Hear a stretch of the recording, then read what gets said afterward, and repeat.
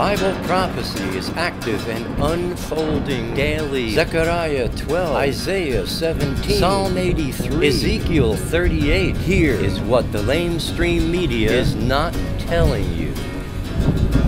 Shalom, my friends, and welcome to this week's newscast. From the New York Times, North Korea has been shipping supplies to the Syrian government that could be used in the production of chemical weapons, including acid resistant tiles and valves and thermometers, according to a report by UN investigators.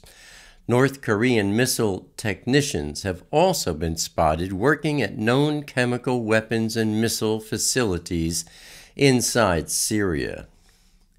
Then from the Jerusalem Post, Egypt has increased its forces in Sinai with Israel's agreement stationing some 42,630 soldiers and 800 vehicles in Sinai to fight ISIS there.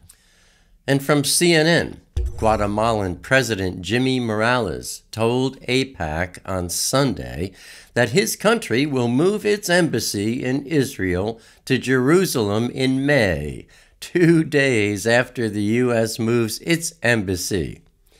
Quote, It's important to be among the first, but it is more important to do what is right, uh, Morales said we are sure that many other countries will follow in our steps. Close quote. uh, you know, that remains to be seen, but what, what a sight. You know, it just adds to trouble escalating, my friends. Turning to my personal thoughts, I was greatly honored last Thursday night Chavarim. Four years ago, my daughter Michelle graced me with my first granddaughter, Isabella. And then uh, just this past Thursday night, uh, she graced me once again. She did it again with my second granddaughter.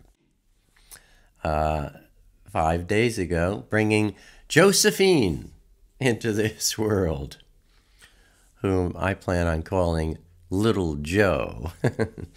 Michelle named um, Isabella after my mom, and uh, she named Josephine after my dad, whose name was Joseph. Now, when I was eight years old, all my dad's friends uh, called me Little Joe. So um, after looking in the face of this little beauty, I decided I'm going to call her Little Joe. in memory of me and my dad. What a wonder, what a joy, what an eternal beracha. And what a time it is to be raising and teaching children. if you ask me, parents need to be 300% more diligent than they ever did 50 years ago. We keep seeing how people are disconnecting from each other physically and personally, no longer speaking to each other, even when they're standing right next to each other, texting instead of talking. And now we're seeing how people are speaking to their televisions and to their computers Siri, what is the definition of anti disestablishmentarianism? and now, the machines are talking back to us. Not only weirdos like Siri, but I just ordered Fios, fiber optics, to replace my cable services to the internet. They sent me an email confirming the order with a link to a video that explains the installation process. So, I click the link, and a video opens up on a web browser, not only addressing me personally by name via text in the video, but also by the narrator's voice in the video. Hello, Alan. You know. Even displaying my personal installation day of the week, the time of day, the date, and the month in text and vocally. Pretty soon, we won't know at all if we're speaking with human beings or not. Turning to wars and rumors of wars on Tuesday, February 27th, from Sama'a TV, fighting raged on in Syria's eastern Ghouta, making relief operations in the rebel enclave impossible despite a humanitarian pause announced by Russia. Then from BasNews, Turkey's army has deployed fresh troops to the war against Syrian Kurdish uh, People's Protection Units, that's the YPG, in northern Syria's Afrin district. Then on Thursday, March 1st, from Iraqi News, eight ISIS soldiers, including a suicide attacker, were killed in a face off with paramilitary forces in southern Kirkuk during a military operation to hunt for ISIS soldiers.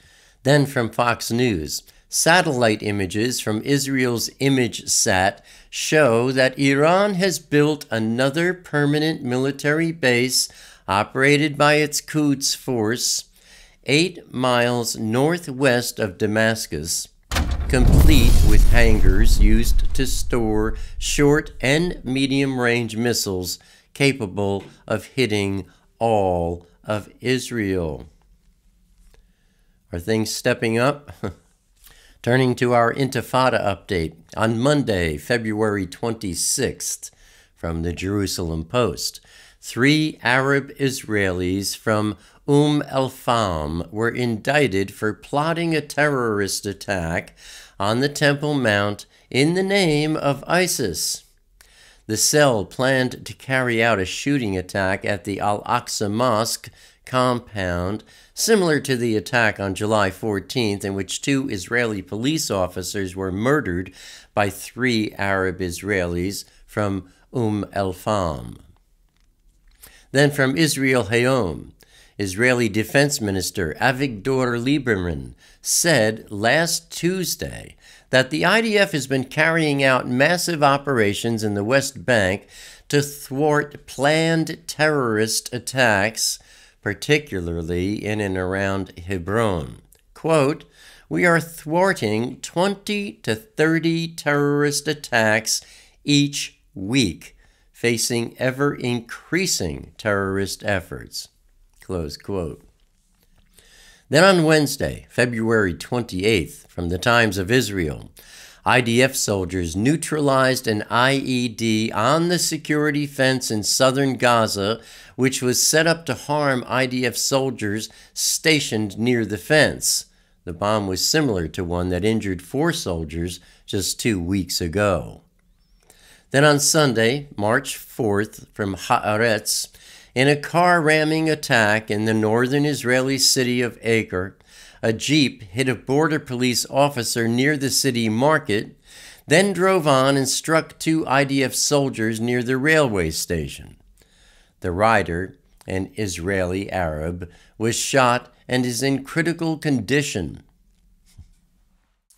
Looking at our review of last week's news, North Korea has been shipping supplies to the Syrian government that could be used in the production of chemical weapons.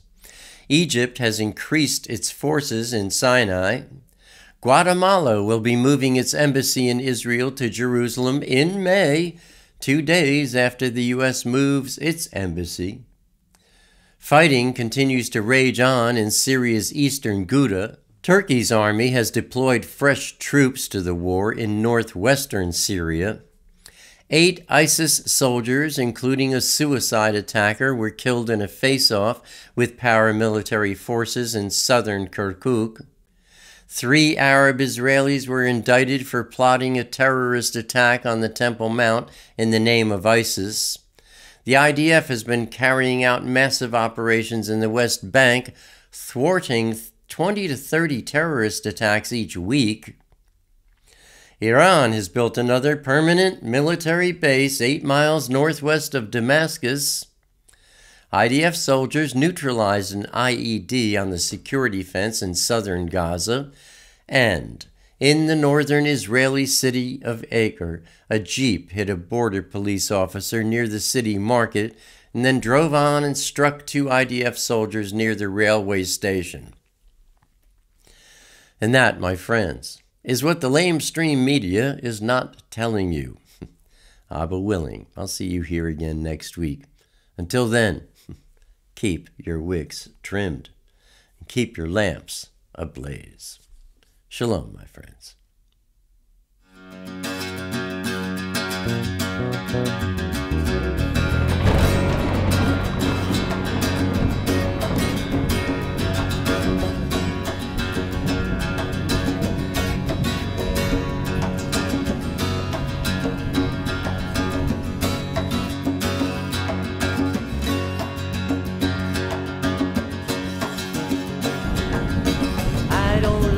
Crowded rooms. I need more space than I consume. Enough is time alone with you underneath a naked moon, sharing confidential moods and making chatter.